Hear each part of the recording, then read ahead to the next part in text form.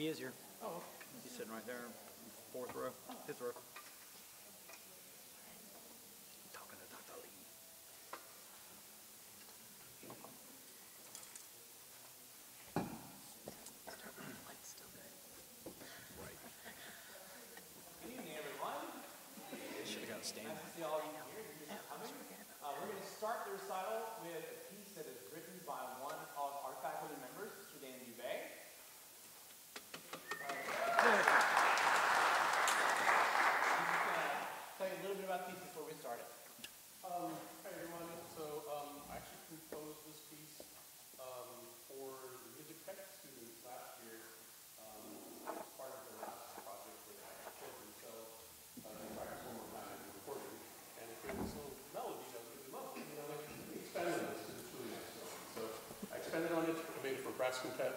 Um, I really love the good sound of brass, especially lower brass, uh, like blasting it out nice in some of those parts. yeah, that's, that's the story.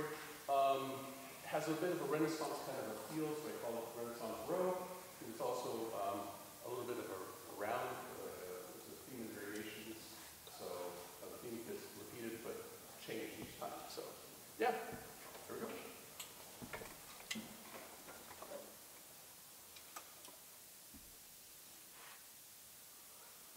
Música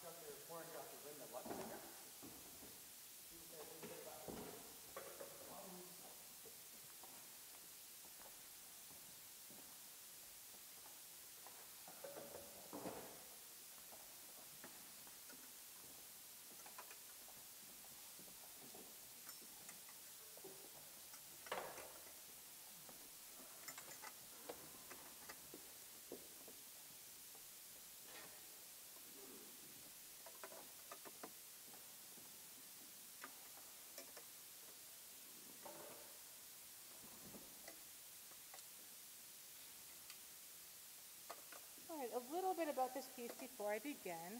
Um, this is a brand new piece um, in a collection that was um, completed just last year. It's called Lift Solos for Horn by Black Composers. Um, and the project was put together uh, by a horn player in Washington, D.C., who teaches at the Duke Ellington School. Um, so it's a collection of, of original um, solo pieces for horn and piano, all brand new pieces, which is wonderful. Um, so the piece that I'm playing is called The First Solo Flight by David Eastman. Um, I hope you'll like it. I love it. It's very cinematic. It sounds kind of movie, like the movies. Um, and I just think it's a great piece. so, um, this is Monte. I will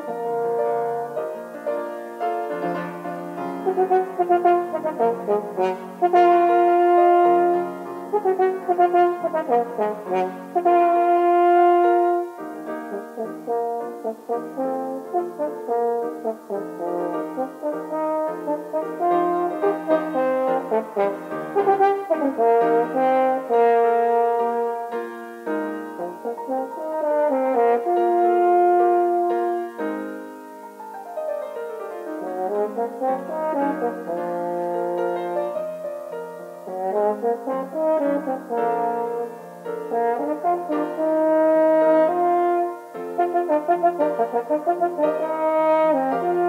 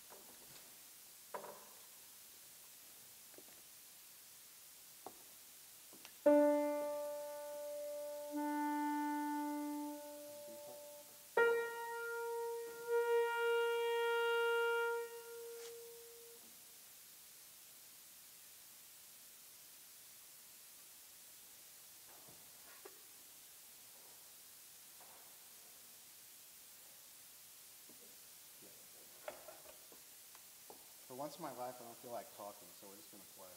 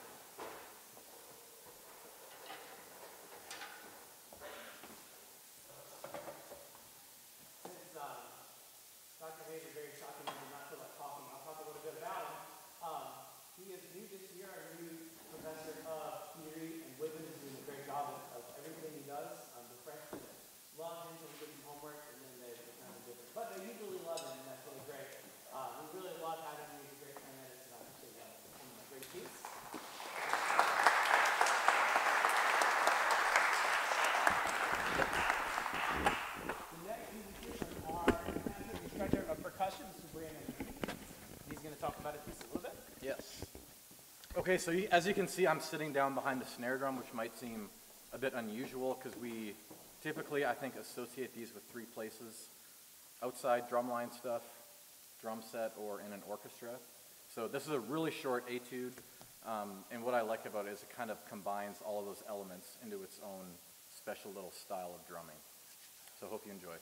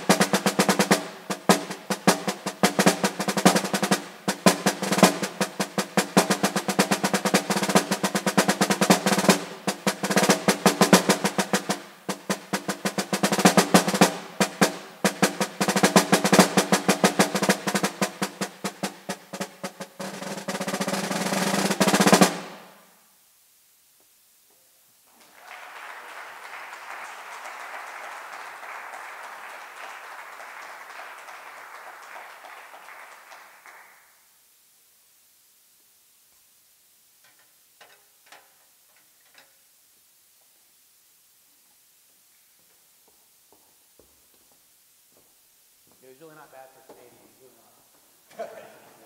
Uh, so next we will have our new this year instructor of trumpet. This is Shaun Mitchell.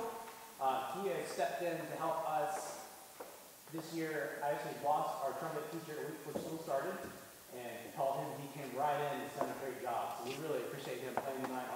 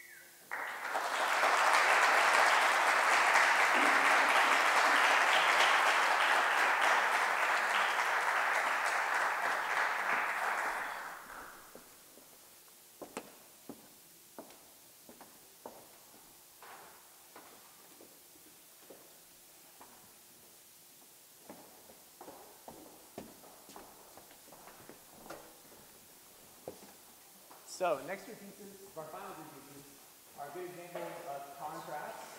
We'll have this bass piece, which is going to be jazz. Then we'll have the hen, and then we'll have the crazy piece.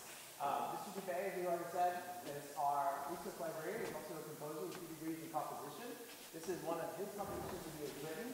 I'm also excited to include one of our students on this one, Juantez Robinson. Can we bring it, can we bring it right here? You bring the whole drum set? Just, he's got a little, yeah, right here. Just so that he's in the video too.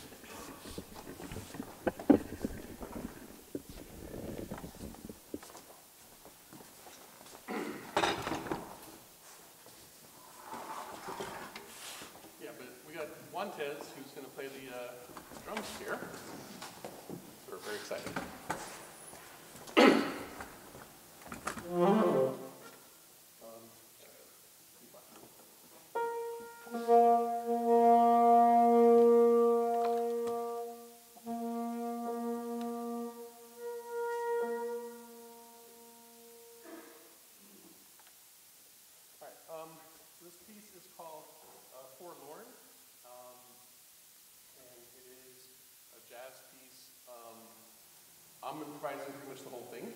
I mean, there's a, there's a set form to it, like my, my, the melody of it, but each time I'll be playing something different. Um, it's, it's, it's totally improvised. Uh, one is going to just kind of keep a beat, but he's going to start improvising too as he plays along um, with it. Um, Dr. Sexton, though, has to stick with the, the part, because otherwise we will get lost uh, into completely free jazz, which this is not. He's keeping the, the, the main uh, anchor of our piece.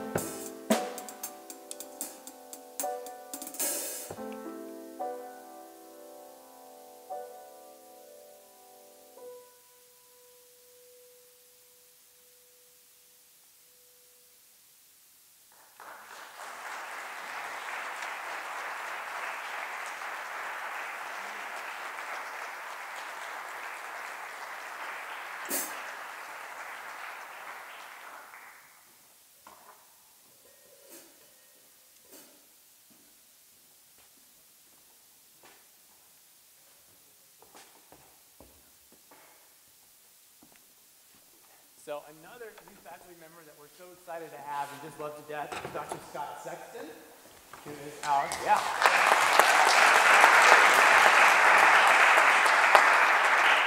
He's our Director of Choral Ensembles and Professor of Music Education. Um, he's going to play a duet with Miss Monte. You want an intro? We are going to play a piano duet called CS Theme and Variations. I know, I know you've all been dying to know what CS stands for, but I'm not going to tell you just yet, but let's just say it's a well-known tune, if you will. Um, the composer juxtaposes this tune with one of Liszt's Hungarian rhapsodies. So here is CS Themes and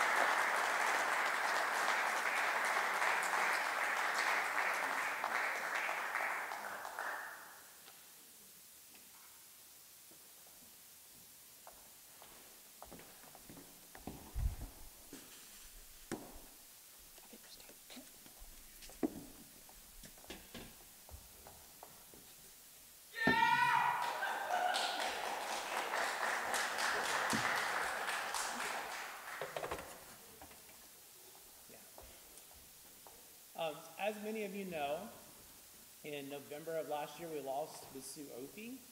Um, she was the vice president for communications and, and really a great lifter up of people.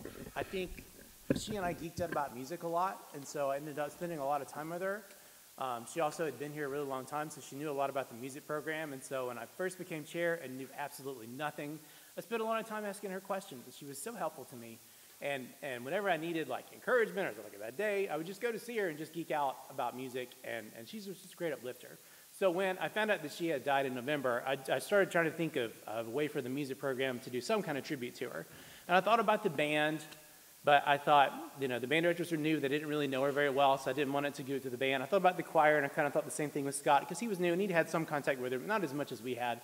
So I really wanted it to be like a personal thing with me and Laryne, as we had known her the best of the music faculty. So I wanted to play this hymn arrangement in remembrance of her, and I will need my music.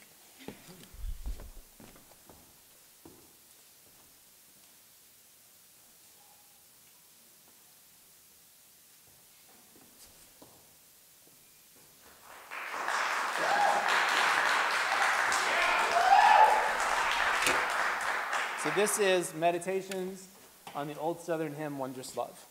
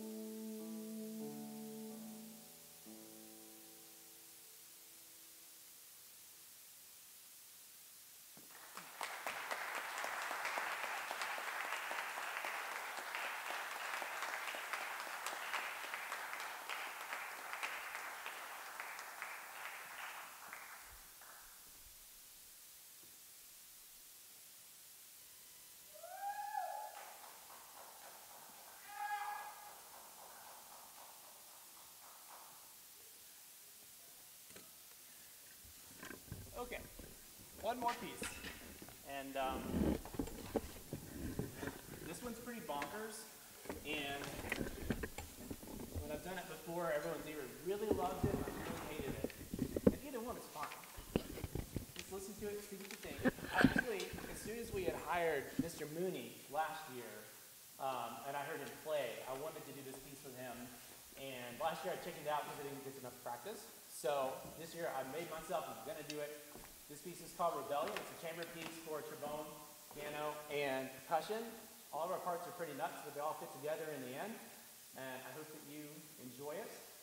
I did want to say, since this is our last piece, I want to thank you all for coming out to listen to us. Uh, you've been a great audience. We really appreciate it. President West and Dr. Lee and Dr. Sowers, we appreciate your support so much. Um, I always appreciate my music people that scream and embarrass me. Thank you for that. Uh, I'd like to also thank Miss Monte.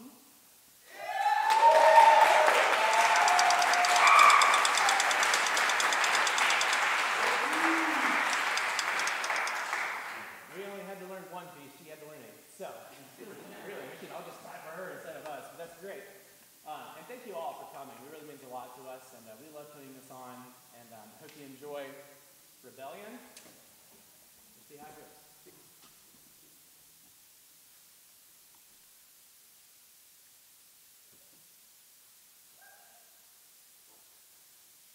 Oh, last thing. I gotta get my plunger. As I get my plunger, I want to point out to President West and anyone else that is worried. I did check with multiple people, and everybody said it's fine to put a chain in the piano. So when we put the chain in the piano, don't freak out.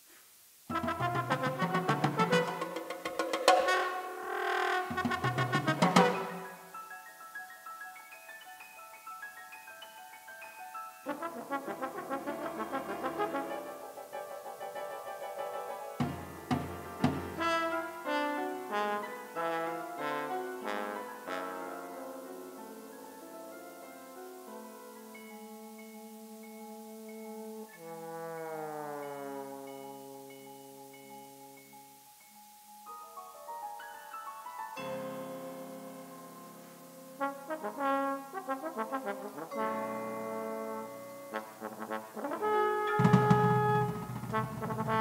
you.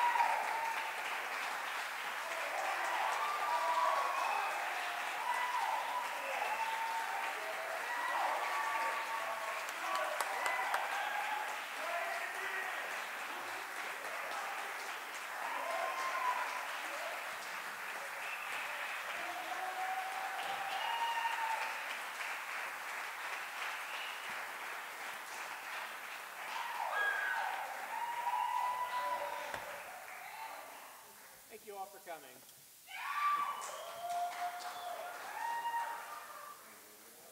And if all the musicians, if all the musicians could each take one